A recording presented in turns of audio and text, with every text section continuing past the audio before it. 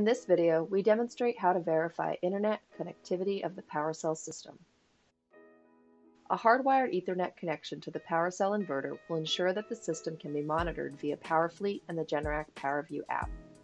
An internet connection will also enable remote system updates to be periodically performed. We recommend, before connecting the Cat5 Ethernet cable, to test the RJ45 connections with a data tester. Ensure the cable is plugged into an active router. Lit LED lights indicate that the connection is made.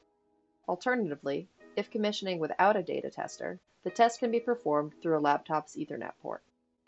Navigating through the browser will confirm the cable is functional. Now connect the tested Ethernet cable to the inverter. The Ethernet connection is located below the DC disconnects.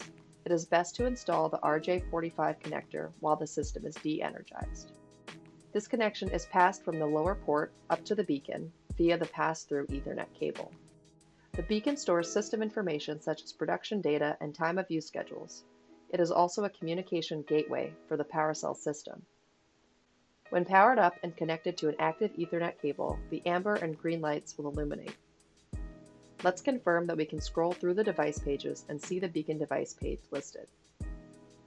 Once the system is connected, the blue internet light will illuminate. We are now ready to set up the system to be monitored through PWRfleet and the Generac PWRview app. See the links in the video description below to access more video resources and to enroll in the PWRcell sales and installation course. Completing the course will give dealers access to claim warranty compensation as well as advanced technical support.